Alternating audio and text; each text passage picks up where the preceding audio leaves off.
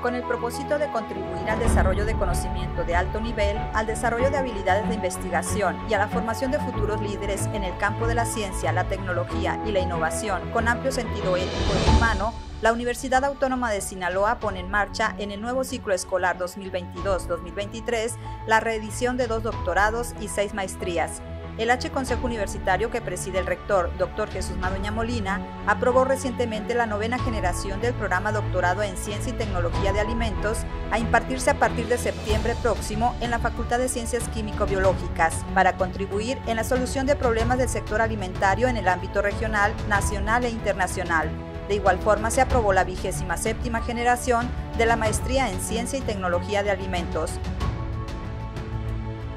se pondrán en marcha también el doctorado en Ciencias en Recursos Acuáticos y la maestría en Ciencias en Recursos Acuáticos en la Facultad de Ciencias del Mar. Se reedita la maestría en Física en la Facultad de Ciencias Físico-Matemáticas, la maestría en Estudios Políticos y Sociales en la Facultad de Estudios Internacionales y Políticas Públicas en su cuarta generación, la maestría en Agricultura Protegida en la Facultad de Agronomía, esta última en conjunto con las Universidades Autónoma de Nayarit, Michoacana de San Nicolás de Hidalgo, de Guadalajara y de Colima, así como la reedición de la maestría en Ciencias del Derecho a impartirse en la Facultad de Derecho Culiacán con inicio en el mes de enero de 2023.